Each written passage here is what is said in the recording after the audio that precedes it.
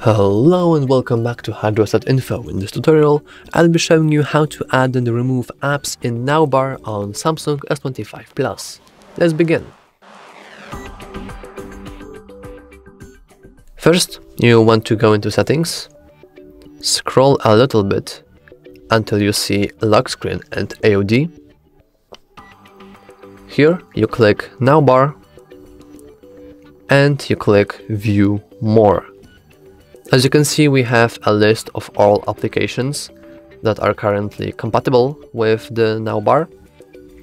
We can disable them by simply toggling, the, uh, toggling them off. For example, voice recorder, clock, and any other applications like this. Or we can enable uh, enable them back. So we can, for example, enable back our clock. And if I would want to go to my clock now, and set for example a stopwatch. I believe that it should be show shown right here. We have our stopwatch. So if you like this video please consider liking and subscribing. Thanks for watching